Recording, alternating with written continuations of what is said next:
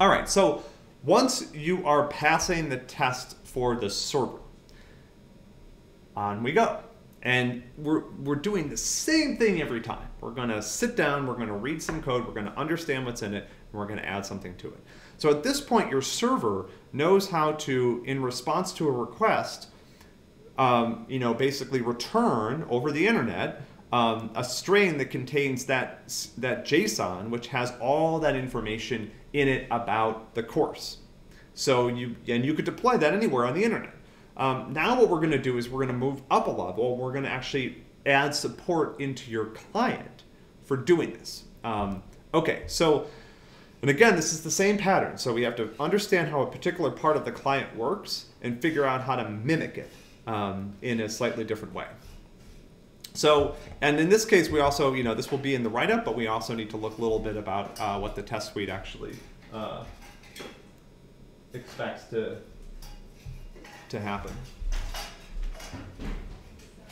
This is food.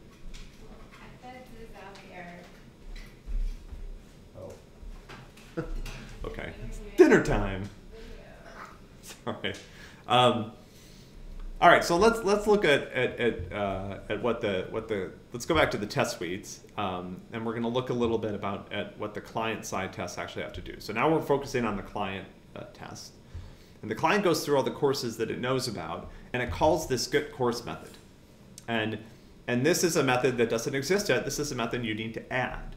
Um, and it provides a callback. So this is another case where because the client's actually going to have to communicate with the server, we provide a callback that is going to get called when the data becomes available. Um, and so there's two things we need to add here. If we go and look at client.java, let's look at summary. So this is, summary is actually used by the main activity, right? Remember, when the main activity starts up, in the onCreate method, we call get summary and we pass ourselves as a callback because we have this summary response method.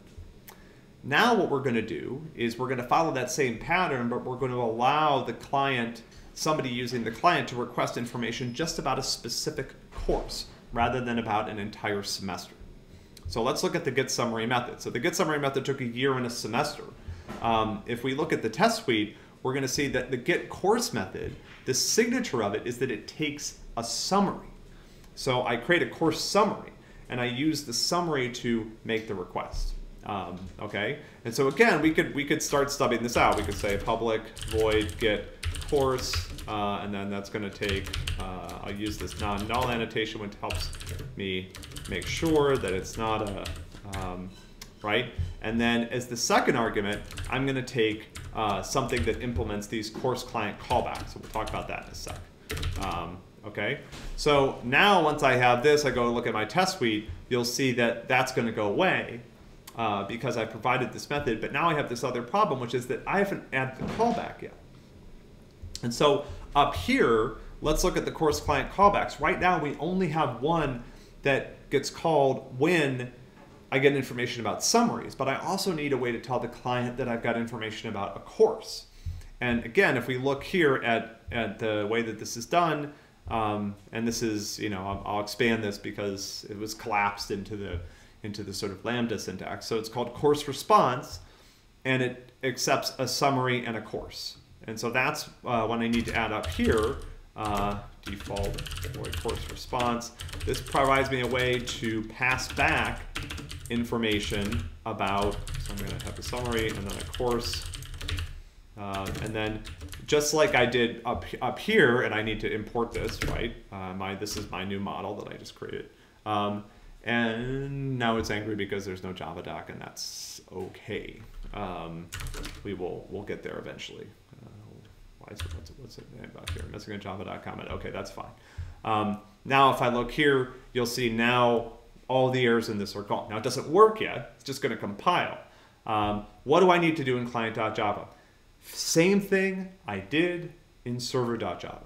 Read some code, mimic it, make it work slightly differently to accomplish a different task. So let's look at the get summary method. What does it do? Get Summary is responsible for making a call to the server uh, web API. So get summary, what it did is it essentially made a call where the path looked like summary slash year slash semester. Well, you just got done implementing a new set of routes on your server. That's sometimes what we call them.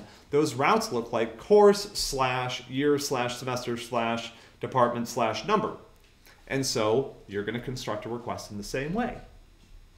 And then, and then all of this is the same. The method is the same. This is a GET request. You're requesting information from the server. The URL is one that you're going to construct. And the response is very similar. So when you get back a good response, now in here what we're here it's a little different. So here what we're expecting is an array of summaries.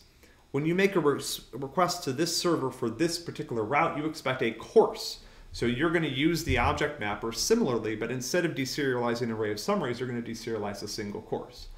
And then the callback's different right? Instead of the callback for summary response, this is, this is not a summary response, we're going to use this new uh, course response callback that we created, and we're going to pass the arguments it needs. So summary, can you can use what was passed to the method, right?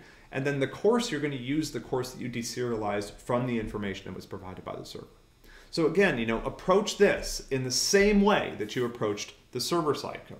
Read it, kind of understand, you know, part of the reason that we're doing this is to really encourage you to understand the code that we've already given you. It isn't a huge amount, um, but we really do want you to dig into it and, and understand it, right? Because the design patterns here are very, very common to many, many different types of applications. Um, okay, so same approach in client.java. Read what's here, mimic it effectively, uh, once you have that test working, you'll be ready to go on to uh, maybe some of the more fun parts of the MP, which is actually working on the front end design.